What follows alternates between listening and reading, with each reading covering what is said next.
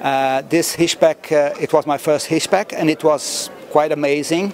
The opportunity to meet directly with, uh, uh um, with people buying several products for the industry is, uh, has been very interesting, very productive and hopefully I will be, uh, will be back next year.